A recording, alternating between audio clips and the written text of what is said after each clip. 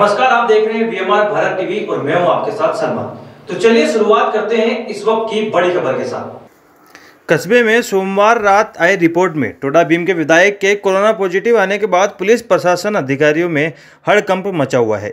सोमवार को दिन में विधायक करौली गए थे और जिला कलेक्टर व पुलिस अधीक्षक से मुलाकात करके आए थे। ऐसे में चिंता बढ़ना स्वाभाविक है। टोडा भीम के block CMHO D M Meena ने टोडा भीम विधायक के कोरोना संक्रमित होने की पुष्टि की है। फ़िलहाल इस वक्त की बड़ी खबर में सिर्फ़ इतना ही, देश और दुनिया की तमाम बड़ी खबरों के साथ अपडेट रहने के लिए देखते रहे वीएमआर भारत टीवी